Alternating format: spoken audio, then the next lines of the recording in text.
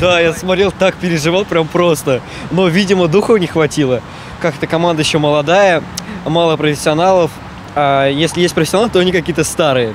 Ну, э, вот Овечкин ну, катался, катался, пытался что-то сделать, но мало что получалось. Канадская команда была очень сильной. А, С первых минут было понятно, что э, нам ну, противостоять им нам будет очень тяжело, поэтому я думаю, что мы сильны, мы, мы сильны, мы боролись, но у нас не было шансов выиграть. Наши недооценивали канадцев просто-напросто.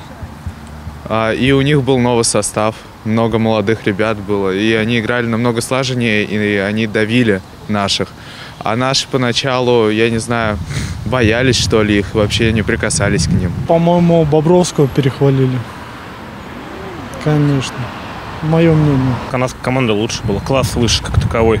Это было видно по всему ходу чемпионата, как они играли. Как они уверенно всех обыгрывали, а наши...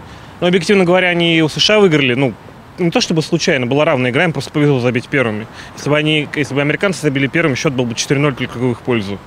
Вот. Ну, амери- канадцы были выше классом. Плюс травмы, которые были там, соответственно, да, как бы в течение, в течение чемпионата, там то, что Медведев получил травму защитника, но другие. Вот. Плюс усталость, плюс канадцы отдыхали на день больше. Ну, как-то вот в совокупности все это, наверное. устали после американцев.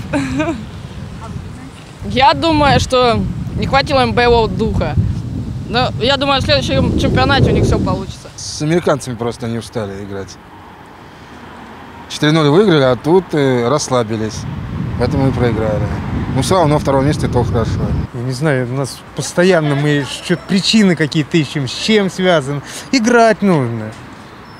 Э, Я думаю, что менять составы нужно. Все начинать с возраста, когда маленькие еще, нужно их тренировать, как положено. А сейчас чего там? Что взять? Они лучше уже не могут играть. А у нас э, хорошая хоккейная школа, как вы думаете? Ну, какой хоккей, такая и школа, наверное.